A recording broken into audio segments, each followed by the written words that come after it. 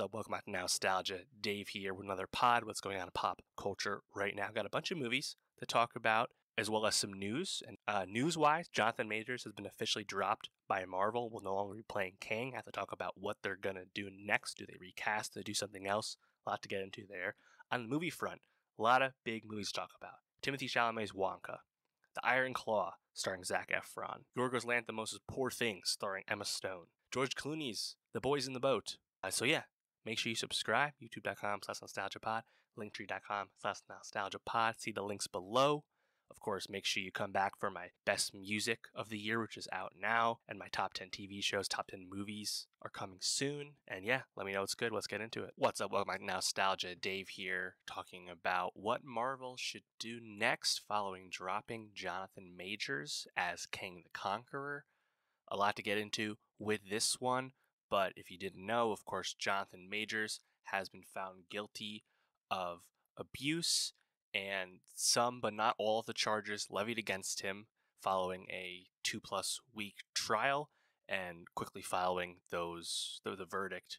Uh, marvel dropped majors officially. He will no longer be in the mcu no, no longer be playing kang the conqueror and the many kang variants that we had seen him portray in loki on disney plus and of course ant-man and the wasp quantumania earlier this year and you know, I'm not going to get into uh, the trial too much. That has been pretty uh, widely reported on. You can follow the whole progress of the trial and everything about it, honestly, elsewhere. I'm not going to get into that. Nonetheless, he has been officially dropped by Marvel, and there's a lot to get into with that because the MCU quite recently had been set up around Majors as Kang as the next big bad, the next uh, central antagonist to that Marvel structure. You know, post Endgame in the uh, interim until Kang really showed up, Marvel had been a bit listless in terms of a central conflict, and there was a lot of hope that Kang, leading up into uh, Avengers: The Kang Dynasty, and of course the introduction of Secret Wars, famously on screen, that would really get us back in the swing of central MCU storytelling. Obviously, the MCU has had a difficult few years. I've talked about that at length as projects have come out and uh, reception to those various projects on film, on TV, have waxed and waned, to say the least. Check out those v- videos for that. I'm not going to get into those details per se, but Marvel has an issue, and they've they've known they've had an issue for some time. There was some really good reporting out of Variety earlier in the summer about Marvel thinking about what they were going to do, and of course, you know, knowing a Major's trial was coming up, and probably already leaning that they just didn't feel like they could move forward with him. Nonetheless, they waited until the verdict was official, not too dissimilar from how Warner Brothers waited until the Johnny Depp verdict came out in the UK before officially dropping him as Grindelwald in the Fantastic Beasts series. Pretty similar. And in that variety reporting, Marvel uh, apparently had been pondering not recasting Kang at all, but actually moving the storytelling in a completely different direction, perhaps moving towards the introduction of Doctor Doom, of course, famously one of the big MCU bads at large, but also, of course, assuming would be our introduction to the Fantastic Four in the MCU, which we've, of course, been patiently awaiting for alongside the X Men ever since uh, Disney and Marvel acquired the film rights to from Fox. So that's an interesting proposition. You know, I know we're to get Doom. And I'm actually kind of more on the boat of let's not rush into that. Why not salvage Kang? You know? Um, I think the counter to that, of course, that the movies haven't been that great. Obviously, Ant Man 3, huge letdown. Um, moving on from Kang probably wouldn't make a huge impact to the general audience score because Marvel's kind of been in a rough spot right now. And Kang hasn't felt like Thanos to this point. I'm I understand that point of view, uh, just because it's kind of easier to move on given where we've been at this kind of Marvel malaise, this Marvel and the Deer. I understand that. That being said, it's still a good character to portray, and I think if you just kind of refocus what you're doing in general and reestablish some kind of conflict with Kang, played by a new actor, I think that's pretty compelling. And then, you know, post Secret Wars, I assume will be introduced quite quickly into various other properties. Of course, we know the Fantastic Four movie is coming in 25, I believe it is now. The date has changed. And of course, we're already getting the seeds planted for an X Men style drop from another universe. Of course, seeing Beast at the end of the Marvels really got that uh, going in earnest. So I think you should recast Kang. And the question, of course, is who should play Kang the Conqueror moving forward? You know, there's a lot of choices, a lot of names, a lot of people to think about. And, you know, if you think about Jonathan Majors' performance as Kang, obviously that will not be completely copied over, but uh, the manic energy Majors brought, I think, pretty effectively to the variant aspect of the Kang uh, character. All these multiple personalities, opportunities to do different kinds of things.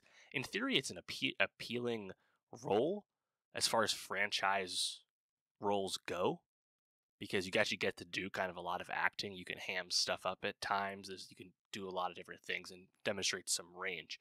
It's a far cry from like a really lame, bland villain that you get in some franchise movies. That's not what this is. So who should be be be, be the choice? You know, there's a lot of names out there.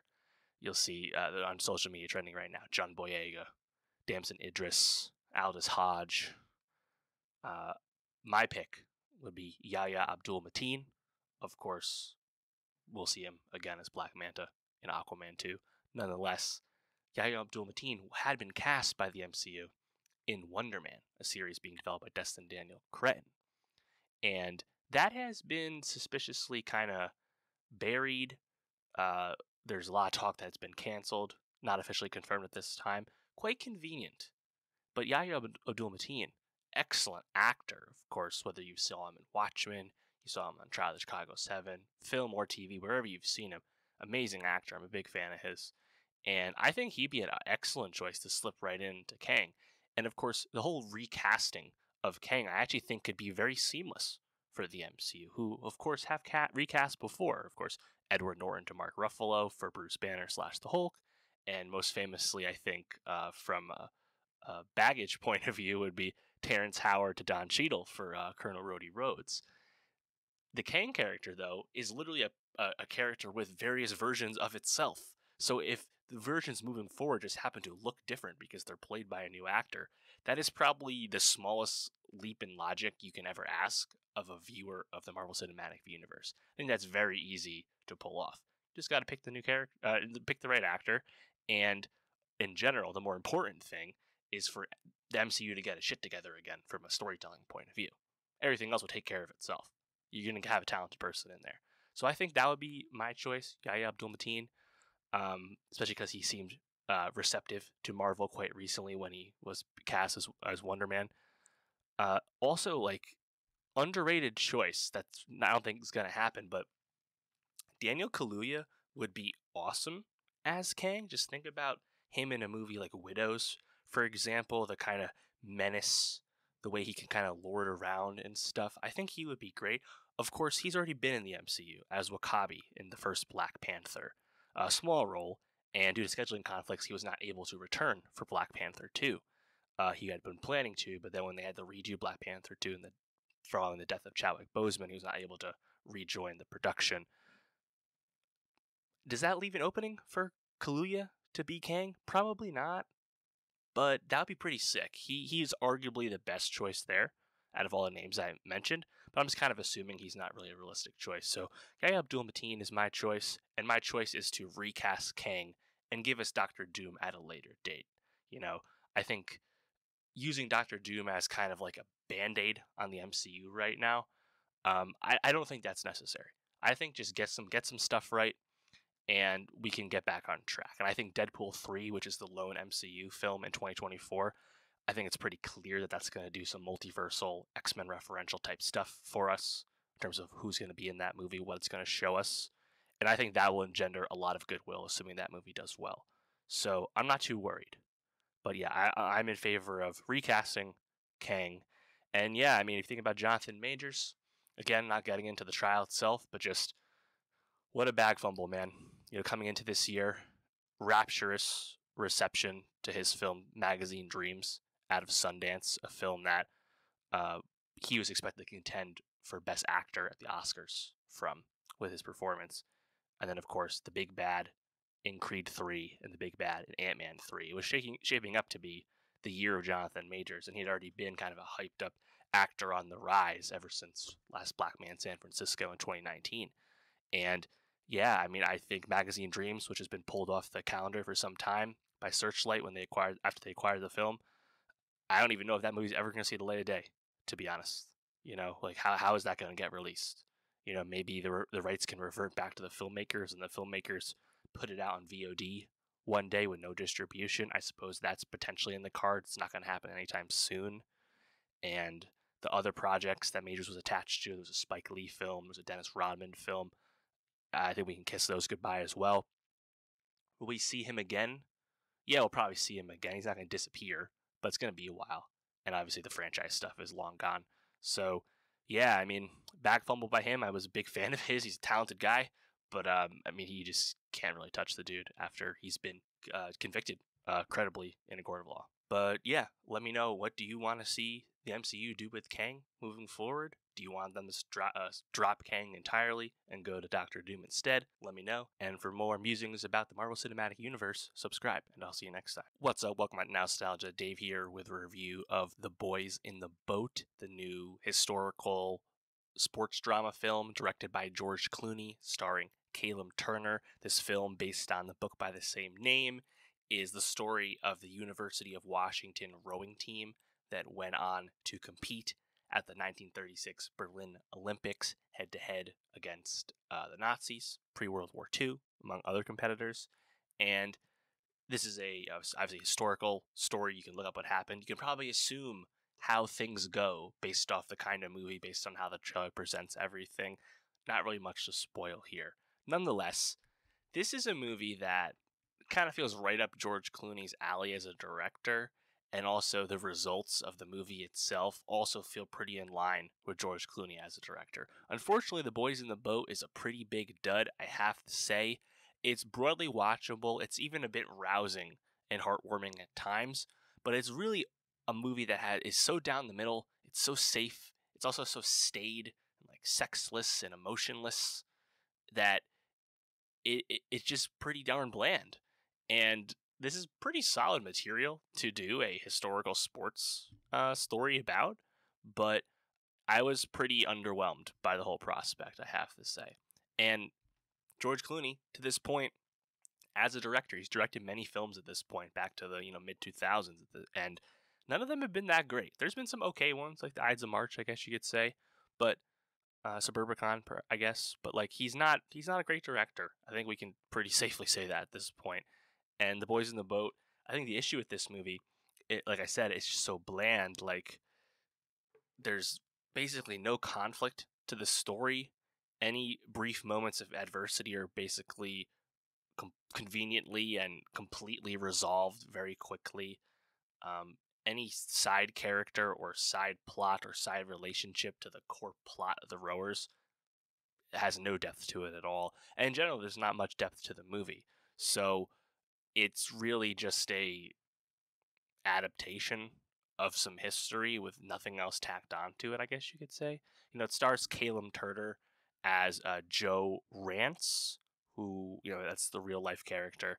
Uh, and Callum Turner, you know, probably best known as Theseus on Fantastic Beasts. He'll be on Masters of the Air and Apple next month, which I'm looking forward to. But he's just given, like, really no material at all in this role, even though he's our lead.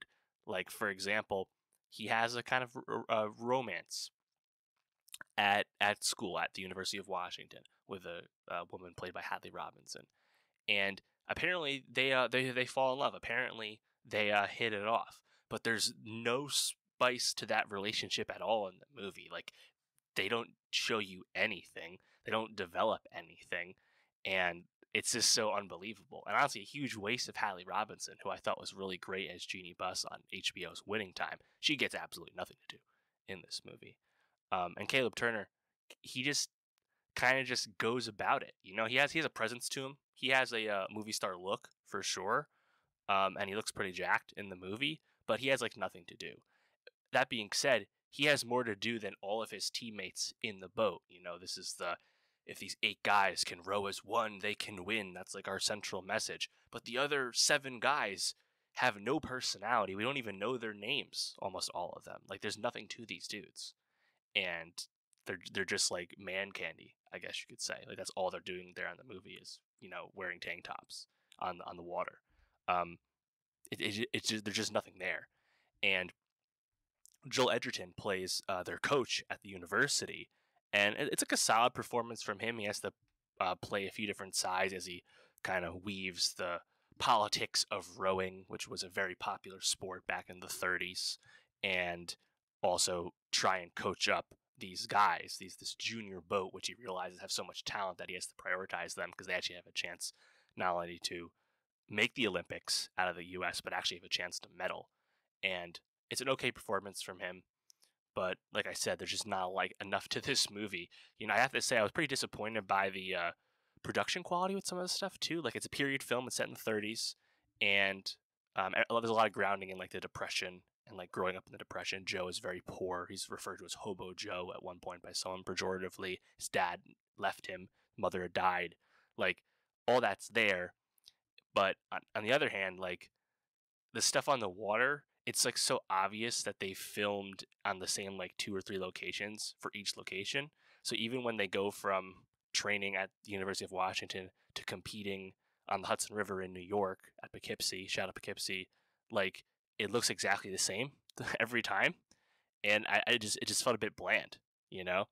And again, kind of fitting the overall screenplay here, which is just so darn staid.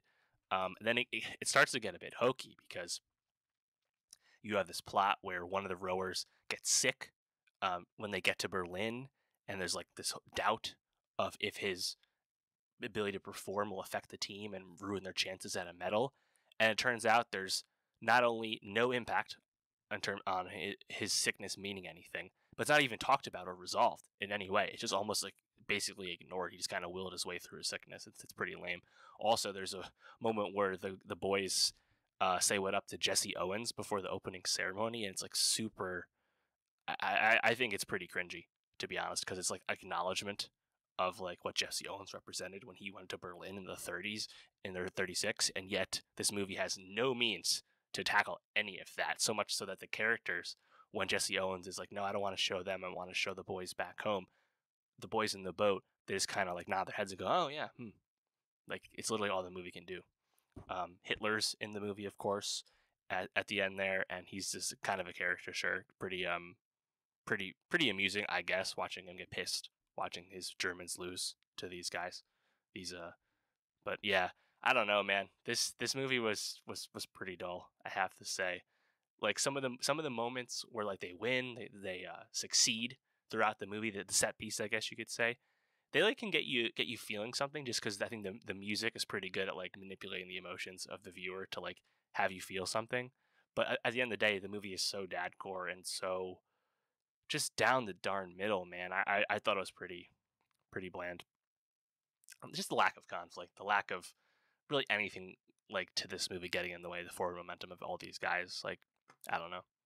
In theory, could have been a lot better. But yeah, Boys in the Boat, not very good. I imagine this movie's going to get trounced at the box office, opening at Christmas in a very busy holiday quarter. You have a lot of movies that open a little bit earlier that are going to stick around. I think this movie's going to get swallowed up whole, to be honest, and the, the poor reviews are not going to help it. But yeah, that's The Boys in the Boat. If you've seen it, let me know. What did you think? Did you like it more than me? Uh, are you with me that George Clooney is not much of a director? I'd much rather see him in Ticket to Paradise, like we did last year, for example. Nonetheless, let me know what you're thinking. And for more movie reviews, subscribe, and I'll see you next time. What's up? Welcome back to Nowstalgia. Dave here with a review of The Iron Claw, Sean Durkin's sports biopic film from A24, starring Zac Efron, Jeremy Allen White, Harris Dickinson, and Holt McCallany. This is a Oscar contender. This is a Best Picture nominee contender. There's been a lot of hype for The Iron Claw as it comes out at the end of next week. And I have to say, The Iron Claw is excellent. This is a very compelling, well done film.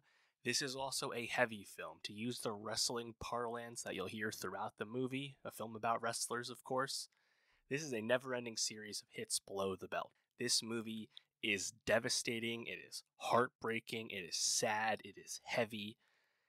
Watching the fall of the Von Erich family as misfortune and tragedy continues to befell this family is very tough to watch. But ultimately, I think the movie is done uh, very well, and I liked it a lot. This is about the famous Von Erich family, a family of wrestlers. The movie takes place primarily in the uh, 80s and 90s, kind of picks up in the 70s. And, you know, we're centered with Holt McCallany's character, Fritz Von Erich. Von Erich is, of course, the, the family wrestling ring names. They're actually the Adkissons in real life. But uh, Fritz Von Erich he we're introduced to him as a wrestler who was successful but never quite got his big break, never quite became the champion he wanted to.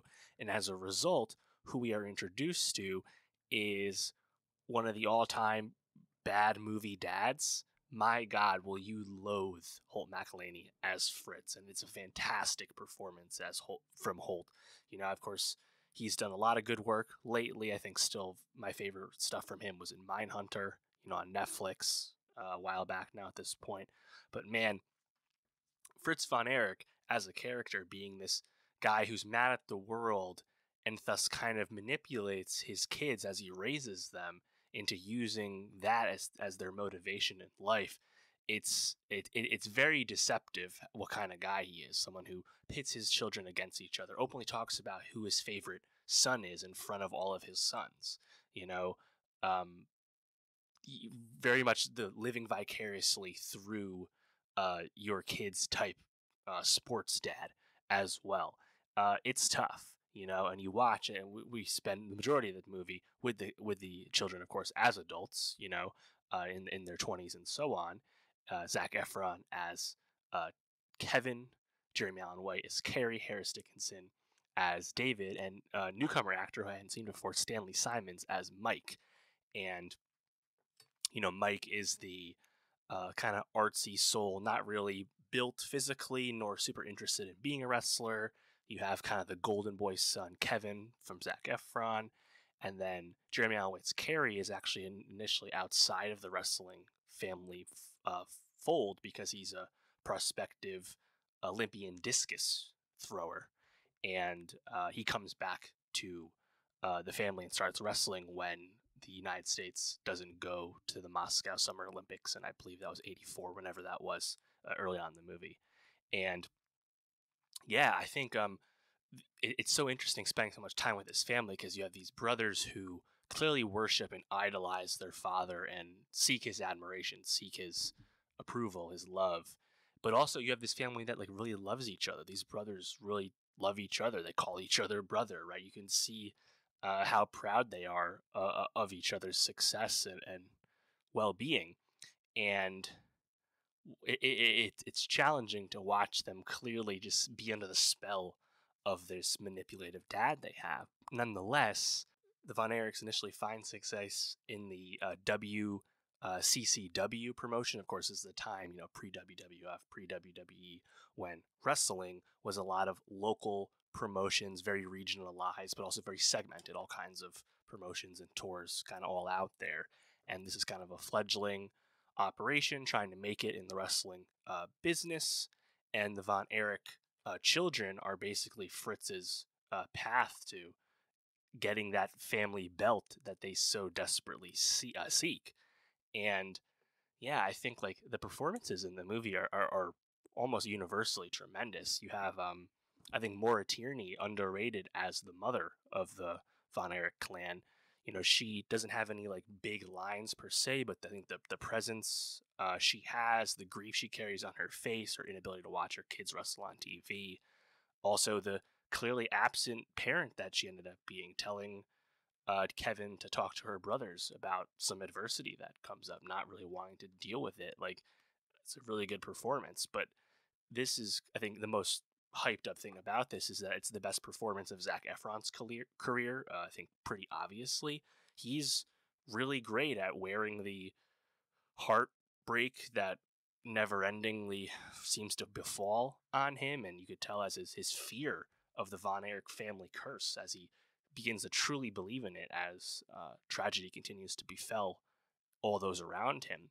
But despite the fact that Zac Efron has got himself so jacked, almost cartoonishly muscular for this role as Kevin Von Erich, uh, there's just, there's like a, just a lot of like heart and soul to this performance and to this character who is the through line of the movie. He is very much the main character, even though throughout the story of the Von Erichs at wrestling, who the uh, main protagonist is to the public definitely changes. You know, you have David Von Erich, Harris Dickinson's character, kind of uh, one up, skips ahead of Kevin because David is a lot more charismatic on the mic, is really good at selling the fights, and uh, you know that's obviously a huge aspect of wrestling is being uh, able to communicate with the audience and have them invest in you in that way.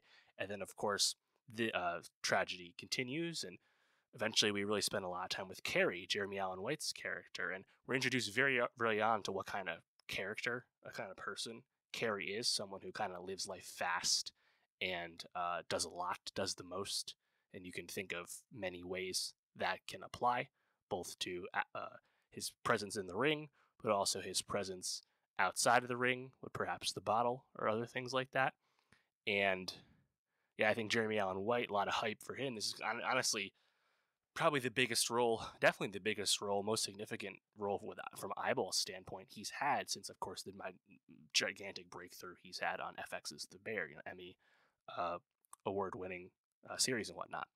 And I think Allen White really imbues the physicality, but also the kind of like tortured, like demonized soul that you had in Kerry. And I think him and Efron have really good chemistry. Um, Harris Dickinson, honestly, it, it's um a smaller role. You're kind of sad to see him leave the movie when he does, because I just really enjoyed uh, his dynamic with Kevin as well. And Harris Dickinson, I mean, the last year we've had him with Triangle of Sadness, A Murder at the End of the World, the FX miniseries, and now the Iron Claw. I mean, I believe he's only 27 years old. He is rapidly rising, you know, after um, I think a kind of steady come up to this point. Hats off to him.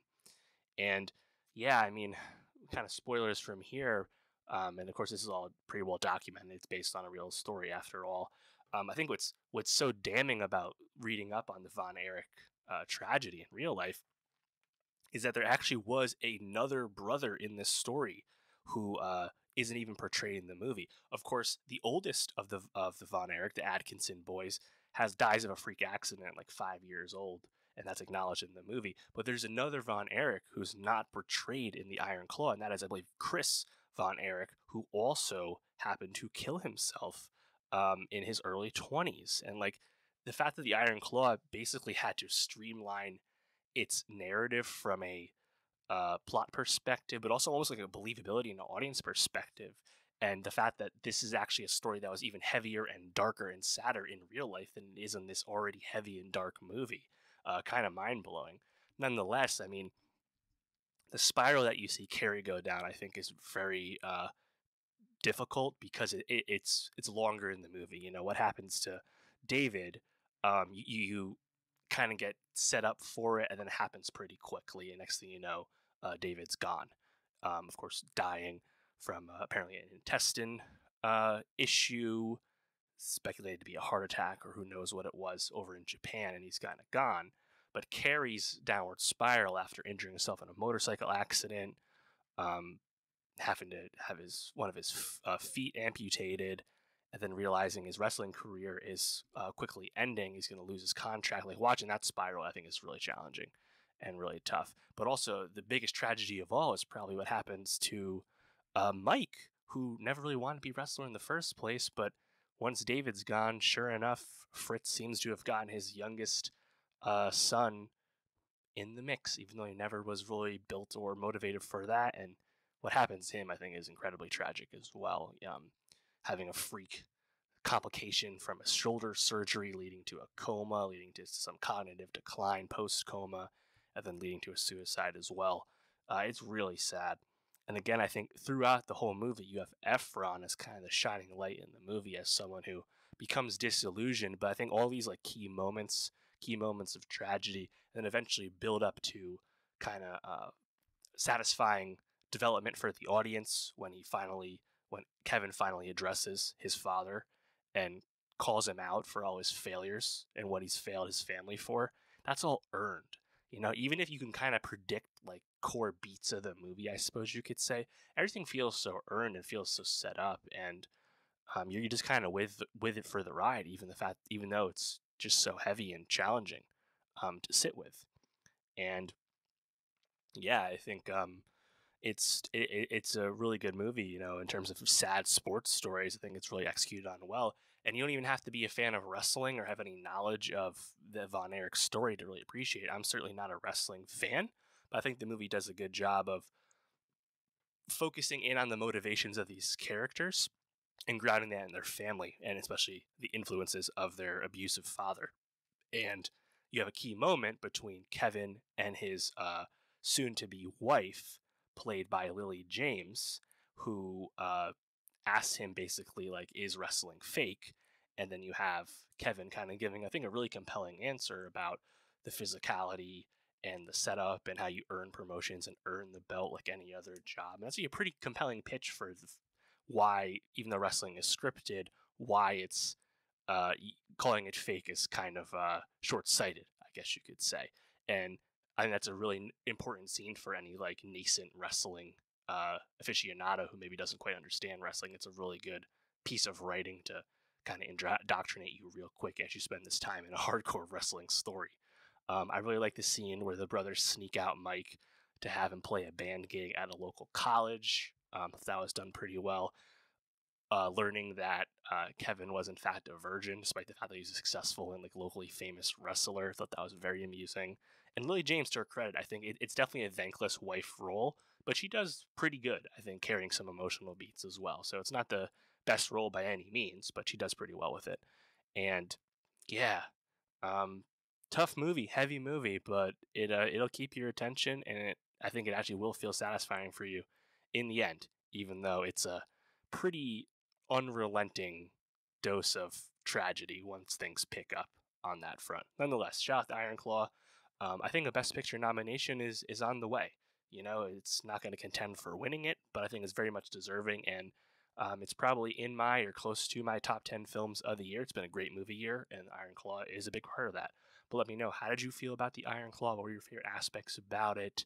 Do you agree this is Zac Efron's best performance of his career? What did you think about it? And for more movie reviews, and also very soon my best movies of 2023 top 10, subscribe, and I'll see you next time. What's up? Welcome back to Nowstalgia. Dave here with a review of Poor Things, starring Emma Stone from Greek filmmaker Yorgos Lanthimos. This is Yorgos' first movie since The Favorite came out way back in 2018, which of course was a Oscar darling when it came out. Yorgos is, I think, one of the most esteemed and popular international filmmakers we have right now.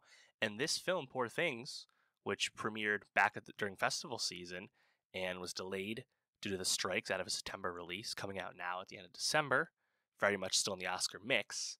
Poor Things is the reunion of our the favorite triumvirate director Yorgos Lanthimos, screenwriter Tony McNamara, and a star Emma Stone. Very exciting. Of course, Emma Stone, one of our great actresses, of course, already an Oscar winner, going to be almost assumingly, assuredly nominated for Best Actress once again. She's tremendous in this movie. And yeah, just it's very exciting because Yorgos is one of those signature filmmakers who has a point of view, he has something to say, and he also has a lot of style and verve to how he makes movies. And I think re- reuniting with McNamara made a lot of sense given how the favorite went, and you can definitely feel the DNA of that past collaboration in Poor Things. And I mean, yeah, you're not going to say no to working with Emma Stone, so it all makes sense. And yeah, I have to say, I like Poor Things a lot. This is a movie that is also a lot. It is not going to be for everyone. This is a movie that is very indulgent. It is long. It's about two hours, 20 minutes. It's also incredibly graphic, explicitly uh, nude and sexual and also gross at times, but also very humorous. There's a lot to it. There's a lot going on. It's not a movie for everyone. Ultimately, I have some notes about the movie, but overall, I liked it, and it's it's a movie that you, I don't think I don't know how you can appreciate what it's going for and what it's doing, just because it's so unique. And ultimately, and there's a lot to this movie, so I'm not really going to recap too much plot here. There's just a lot of plot to this movie. Um, let me know what you thought about Poor Things as you've seen it. Leave a comment below. But yeah, um, I think the thing with Poor Things and most most broadly speaking, is it's basically like a gender flip Frankenstein story set in like a pseudo like Victorian England, but like this England has a steampunkish like bend to it. It's not totally reality or totally history, and you know we were very introduced quite quickly to this um, scientist character, uh, Godwin or God, played by Willem Dafoe, and he has kind of a uh, scarred, cut up face that we learn learn about why in the movie, and he is a professor, but also just a tinkerer, a scientist, a uh, experimenter, a surgeon, all these types of things. And he has, and we learn this quite quite quickly. He has basically taken a woman who he found had jumped off the bridge uh, in London, like I believe it was like Tower Bridge, and to commit suicide, ostensibly. And he takes the body, realizes that she's pregnant, and takes the brain of the dying you know, or, or, dead uh, unborn child, puts it into the body of the woman who jumped, played by Emma Stone, and essentially reanimates new life into this old body. And as a result, you're introduced to Emma Stone, can't really speak, doesn't really have full motor skills, is basically a adolescent growing child in a adult body. And uh, Godwin uh, enlists the help of his best student, played by Ramy Youssef, to study and document what's going on with Bella, which is the new name for Emma Stone's uh, reanimated character.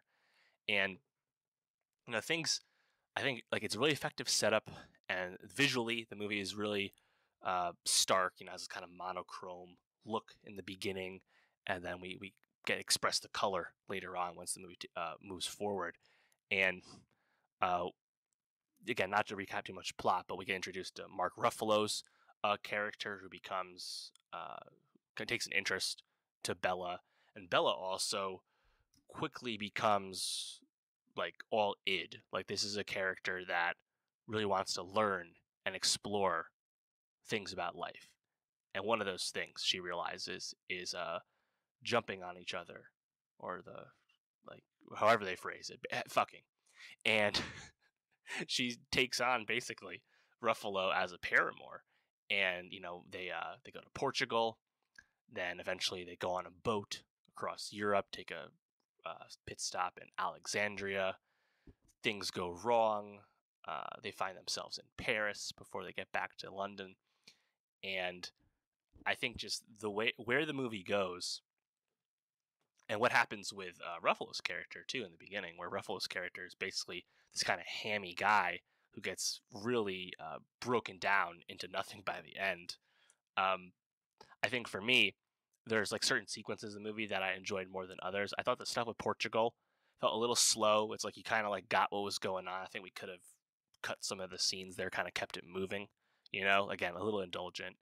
But I think once we get to the boat, once we get to Paris, things start to really pick up. I think it's really enjoyable. Emma Stone is like really like on one in this movie, just in her bag. It's she's so charismatic, she's so compelling, and this in this character who never lacks in confidence, even if she at times lacks in knowledge of what's going on in the world and society. So much so that I think some of the funniest and compelling stuff in the movie is where she willingly, by choice, chooses to become a prostitute in Paris as almost like a form of like study to like learn about the sexual experience, having not had uh, many partners to that point, you know, apart from Ruffalo's character, and her learning how things go with John's and like all and, and also and, and very intentionally using it as a way to like make money for herself um all that stuff in, in the in the brothel is tremendous. Kathryn Hunter plays like the head. I think she's great in the movie. Um the stuff on the boat i really like especially once bella meets Jerrod Carmichael's character who plays this kind of like openly like cynical nihilistic person. Um watching ruffalo kind of amount to nothing is awesome. But even before that, like the dancing scene on the boat, I think was really good. There's just so much like standout, like stark stuff in the movie. And again, it's so much so unique with. I think it's really sharp uh, script. There's some like a lot of physical comedy, like really early on, like when you watch like adolescent Bella pick up a cadaver's like penis and like drop it up and down. It's like there's so many big laugh moments and like physical comedy. There's a lot of gross uh, comedy in the movie as well, and then it starts to get like really quite sexual. But again, I think it all kind of makes sense in terms of the mood and the POV of what the story is going for, and I think it really like takes off. The only th- other thing I didn't I, I, I didn't love as much in the movie is the the almost ending. Like I thought we could cut some of the Portugal stuff, and also um, the movie seems to be wrapping up nicely, where uh, Bella is gonna marry uh, Ramy Youssef's character, and they had kind of agreed to do that, but Bella wanted to kind of go on an adventure first, and that's kind of like how the movie begins in earnest. But that gets interrupted when Emma Stone's original character, who committed suicide, that character's real life husband, played by Christopher Abbott, shows up to reclaim his wife, basically at at the altar. And then we kind of had this like 25 minute interlude with Christopher Abbott's character before the movie actually ends. And I don't know, like I think Abbott, who's who's a great actor, I think Abbott's character was super one note as this kind of cruel, um, not nice like military like general character. Like it, it was kind of one dimensional to me. All that stuff. Like obviously Bella's gonna find a way to like break out of this prison and go back to what you wanted to do, which was marry uh, Ramy and like take over for Godwin. And like Godwin had been sick, and I think Willem Dafoe gets some really heartwarming stuff towards the end there. After initially being positioned at the very beginning of the movie as a like pseudo villainous character for like his creation of Bella and like his scientific pursuits and stuff, but like it's all quite warm, and I just feel like we almost like kind of wasted like 20 minutes at the end there all to amount to like yeah they put the goat brain in christopher abbott's character and they're all happily ever after it's like it, it was kind of like an interstitial that i don't think we needed so much doesn't take away from the movie or my appreciation of the movie for all just kind of a note um yeah like ultimately i was really with the humor i was laughing a lot um i, I think the movie is very compelling very interesting and just very yorgos you know and it's cer- certainly worthy of all the acclaim it's getting it's going to be an awards contender um it's not going to win Best Picture. We can write that off now. It's just too weird. You know, is Emma Stone going to win Best Actress? I'm not sure. It could happen. I would say I think adapted screenplay nominations definitely coming up. Of course, this is an adaptation of the Alasdair Gray novel of the same name, so McNamara's definitely gonna get some plaudits there too. Um, people have talked about Ruffalo supporting actor nomination. It's a good performance. He kind of like makes fun of himself and goes on quite the journey as a character, both good and bad. But I wouldn't be shocked if he gets pushed out for somebody else, to be honest. But maybe. But yeah, I mean, poor things. There's so much plot, like that. like there's a lot to it. But yeah, I mean, let me know what you thought of Poor Things. I think it's definitely a movie that'll be polarizing, have lots of a range of opinions and range of things that worked and didn't work for you. But overall, I just thought it was a pretty epic movie in the end, and really carried by I think Core Three, the McNamara script, just the Yorgos POV and authorial intent, and Emma Stone just as a force of nature again as an actor. Like those three, like really carry us with poor things. So yeah, banger movie. Uh, it's in my top ten right now. Probably will stay there. But yeah, let me know what you thought of it. And for more movie reviews, more Oscar talk, subscribe, and I'll see you next time. What's up? Welcome back to Nowstalgia. Dave here with a review of Wonka, starring Timothée Chalamet from Paul King, the director of Paddington films. Wonka is back. Timothée Chalamet back in our lives. The movie is a hit It's probably going to be the biggest hit of the holiday season as well. And I think for good reason, because Wonka actually I think is pretty good and definitely exceeded my expectations. I did not think highly of this movie or this, the project of this movie going in. You know, going into the film, I thought this was kind of a waste of Timothée Chalamet's time. I've been a huge fan of Timothée Chalamet since 2017. Seeing how amazing he is in movies like Call Me by Your Name or Little Women, he is the preeminent actor of his generation right now has been compared a lot to the career trajectories of people before him, such as Leonardo DiCaprio. He is a special talent. He is also having a great year because he's incredibly famous, dating Kylie Jenner right now, about to be the star of Dune once again early next year. Like everything's turning up Timmy right now. And it turns out that's continuing with Wonka. But going in, I just didn't think like a kind of completely unasked for franchise reboot retelling film doing another Charlie and the Chocolate Factory movie about young Wonka. I was like, really? Timothée Chalamet is going to do that? He's already got the franchise game going with Dune. I would have liked him to continue to do what he had been doing, which is working with auteurs, you know, working with Guadagnino and Greta Gerwig and Adam McKay. Nonetheless, he does Wonka, and it's actually a pretty solid use of his talents. You know, Timmy, a song and dance man, but not an amazing singer. And Timmy singing in Wonka, I think is good enough. It's like it's passable, it's solid. You know, um, he's not an amazing singer. He's not a broad. He's not gonna sing on a musical on Broadway or anything. But he is a charismatic guy. He has a presence to him, and he still has like a precociousness to him. He has a youthful exuberance to him, despite being almost 28 at this point. And it's actually a pretty good fit for this version of Wonka. It's funny because the Willy Wonka we get in the film Wonka is very different from the Willy Wonka we've been introduced to in the past, which is a very almost demented and like dark character at times, right? From Gene Wilder, of course, most famously. And yeah, despite all that, I think he's kind of meet this movie on what it actually is, which is a Paul King movie. Paul King, if you've seen the Paddington films, he directed the first two. There's a third one on the way. Those Paddington films very much continue uh, er, the vibes continue from that with Wonka, and what what is that? I mean, this is a great movie for kids. I think it's a happy movie. It's a nice movie. It's um, I think it's about like like belief and finding joy and things of that nature.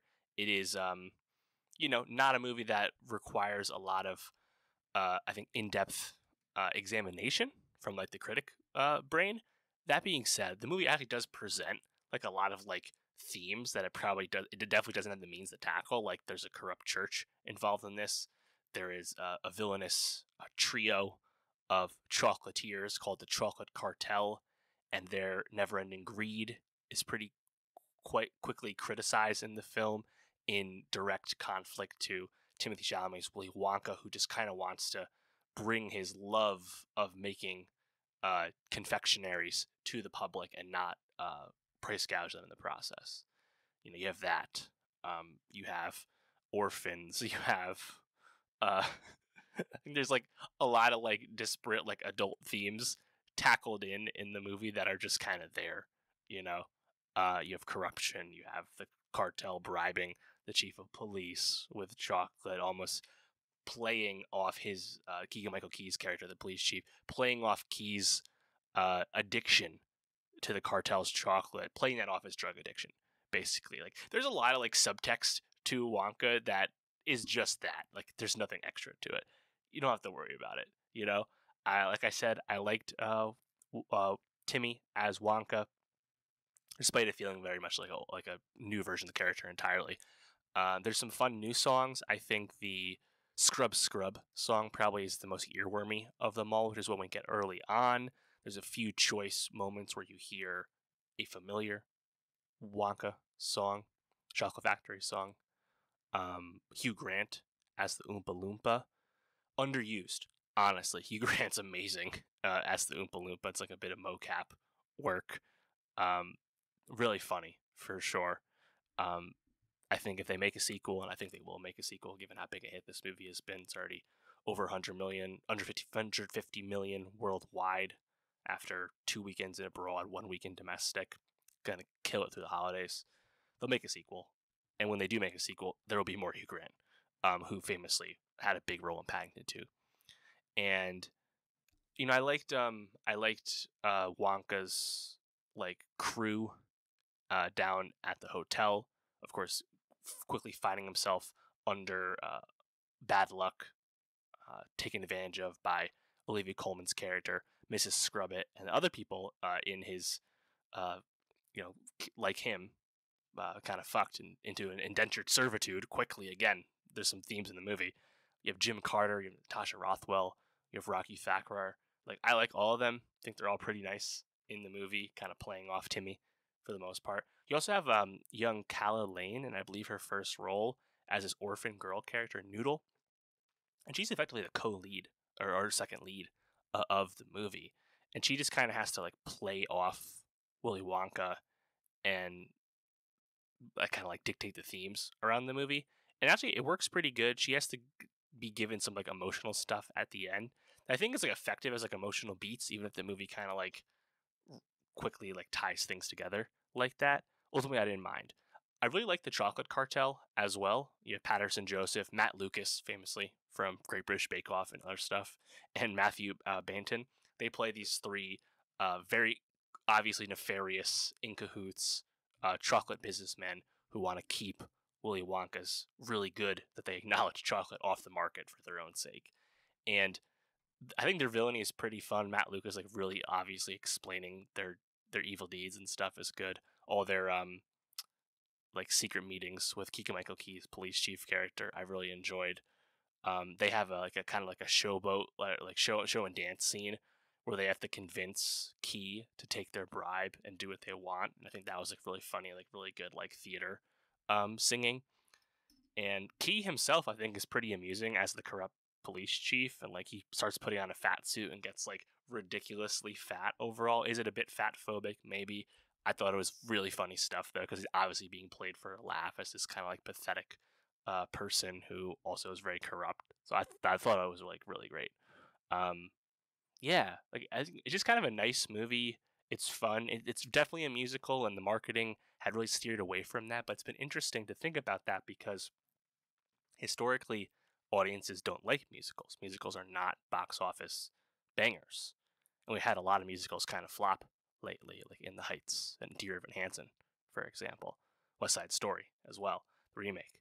But Wonka, by hiding the fact that it's actually a musical, and waiting for all that good word of mouth and good audience reception, not to mention good reviews. Now people don't care that it's a musical because people are telling them it's good. It's kind of an interesting strategy that in the in the in the lead up to this, I was skeptical of because like, oh, they're hiding that it's a musical. They're hiding Timmy singing. It must be bad. But no, it actually seems to have worked out okay. So yeah, I mean Wonka. It's definitely a kids movie first, but it's just broadly enjoyable and like nice and makes you feel good. And it's hard to ask for more from something like this.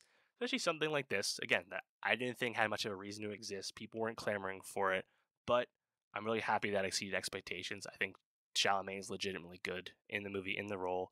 I think his best moments in the movie, I think the best overall like scene in the movie is probably this uh, protracted zoo set piece where uh, Willy and Noodle go to the zoo to milk a giraffe, and you find out why when you watch the movie. That's actually like really great some of the best singing. Like Timmy's good.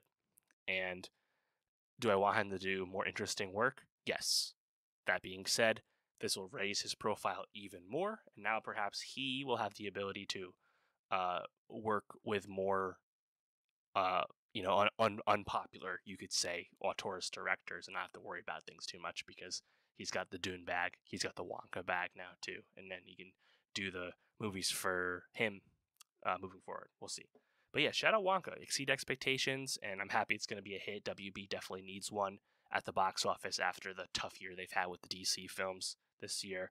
Honestly, I think it's probably likely that Wonka will outgross Aquaman 2. Uh, speaking of DC movies or, or, WB movies, which is kind of hilarious to think about, but just speaks to the nadir that we are in with superhero movies right now. Nonetheless, let me know how you thought, uh, what you thought of Wonka, what you thought of Chalamet's performance, what you want from Timmy moving forward. And for more movie reviews, subscribe, and I'll see you next time. All right, that's gonna do it for the pod this week. Next week we got even more movies coming. It's just it's it's our time right now. If you like movies, we got Aquaman: The Lost Kingdom. We got Bradley Cooper's Maestro on Netflix. We got Zack Snyder's Rebel Moon on Netflix. We got the rom com Anyone But You, starring Glen Powell and Sydney Sweeney, with a lot of tabloid behind the scenes stuff to that film. Of course, make sure you come back for my best movies of the year, best TV of the year as well, coming soon. Subscribe, youtube.com slash nowstalgiapod, linktree.com slash nowstalgiapod. See the links below. Leave a review. Let me know what's good, and I'll see you next week.